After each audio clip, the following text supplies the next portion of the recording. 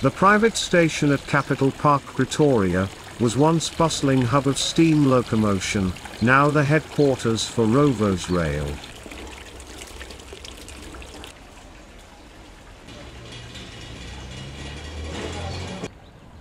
The gracious railway station serves as the departure or arrival point for most of the train journeys.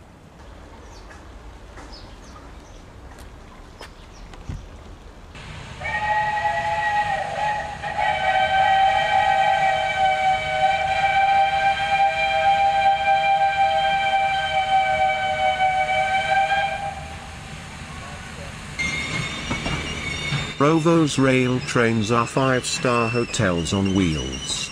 But that is not the reason we came here. We are looking for a relic of the Anglo-Boer, the sixth-class locomotive of Cape Government Railways. And here it comes.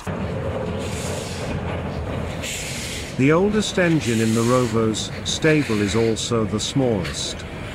Number 439 Tiffany a Class 6 locomotive, is one of 40 locomotives the first of which was delivered in 1893 and was built by Dubs and Company. The engine was purchased in 1987.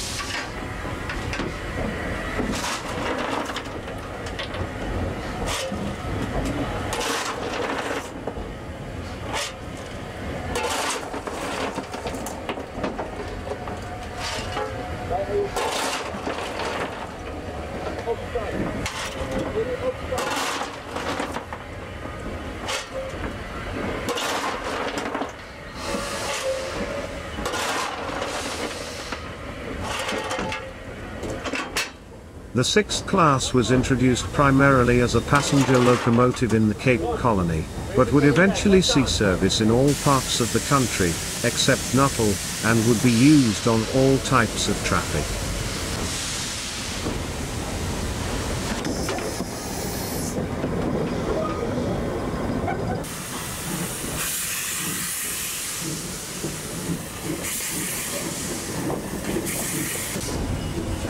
By the time the last ones were eventually withdrawn from service in 1973, the Class 6 had achieved a service life of 80 years, a performance which can be matched by few other locomotive classes worldwide.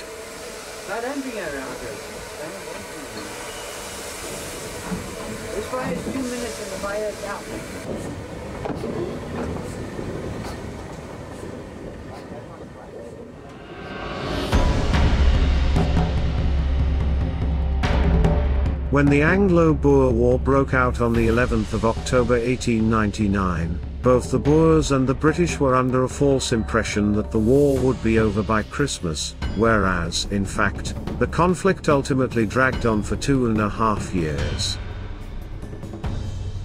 Nowhere else in the world was a war fought over such a large area that was served by such poor road communications.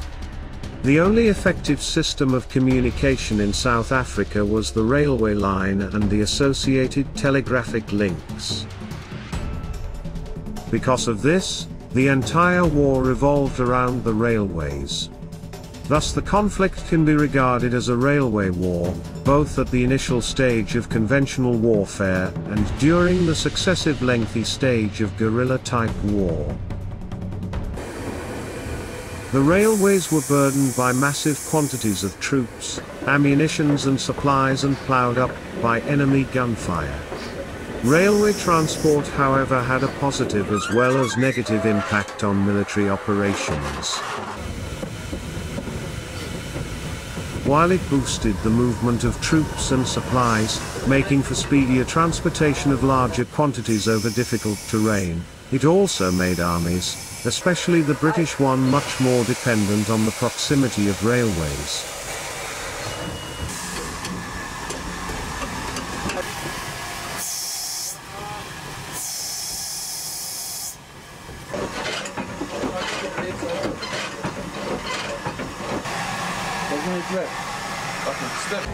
In 1901, when nearly all the Republicans' artillery had been captured, an effective system of blockhouses was built which were initially constructed for the defense of railway bridges and to keep burghers off the railway lines.